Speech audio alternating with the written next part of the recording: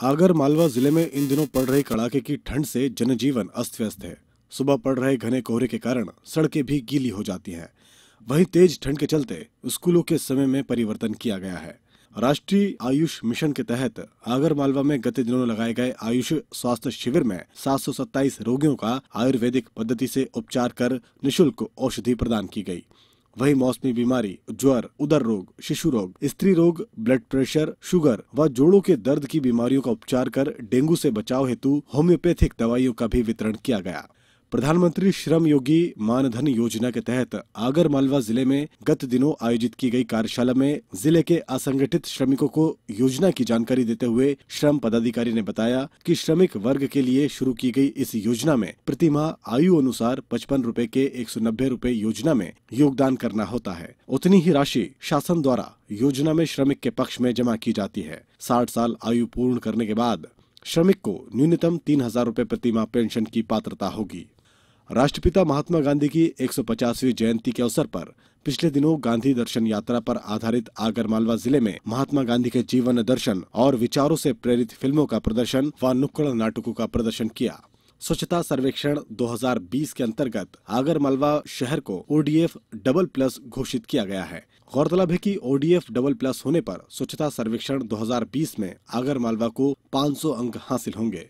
राज्य स्तरीय वुमेन मध्य भारत हॉकी प्रतियोगिता का गत दिनों आगर मालवा में समापन हो गया। स्टेडियम ग्राउंड पर खेली गई प्रतियोगिता के फाइनल मुकाबले में शाजापुर ने आगर मालवा को दो अंकों से हराकर प्रतियोगिता पर कब्जा कर लिया। दो दिवसीय इस प्रतियोगिता में ग्वालियर, मुरैना, रायसेन, बड़वानी, इंदौर, विदिशा, नीमच, शाजापुर, मंदसौर, धार, देवास और आगर मालवा सहित 12 जिलों की टीमों ने हिस्सा लिया।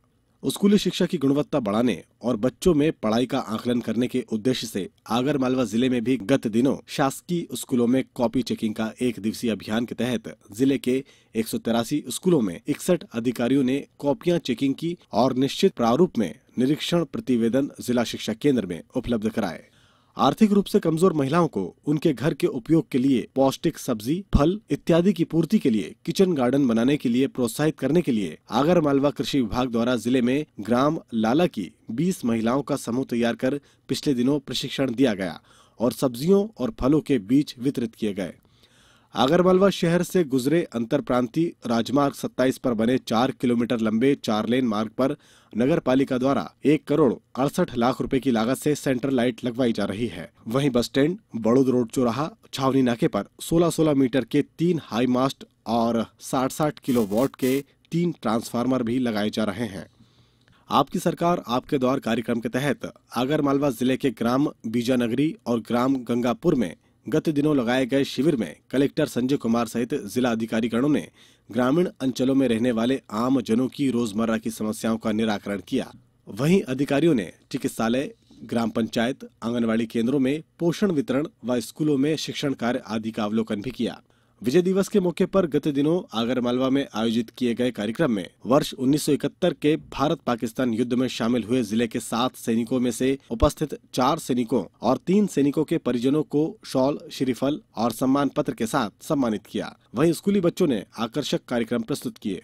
कार्यक्रम स्थल पर जनसंपर्क विभाग द्वारा युद्ध समय के छायाचित्रों की प्रदर्शनी भी लगाई गई। लोक सेवा प्रदान गारंटी अधिनियम 2010 के तहत प्रदाय की जाने वाली सेवाओं को समयावधि में प्रदान न कर तीन दिन विलंब करने पर आगर मालवा कलेक्टर संजय कुमार ने ज़िले की बड़ोद मुख्य नगर पालिका अधिकारी जसवंत नरवाल पर बीस हज़ार रूपए की शास्ति अधिरोपित की है। स्वच्छ भारत मिशन ग्रामीण के तहत आगरमालवा जिला पंचायत की सीईओ अंजलि जोसेफ ने समीक्षा करते हुए बताया कि ज़िले की बड़ोद, सुसनेर, नलखेड़ा और आगरमालवा जनपद पंचायतों में चौरासी पंचायतों के एक शौचालयों विहीन घरों में 25 जनवरी तक शौचालय निर्माण करवाने और 30 जनवरी तक भौतिक प्रगति का कार्य करवाया जाए। ज़िले की चिट्ठी समाप्त हुई।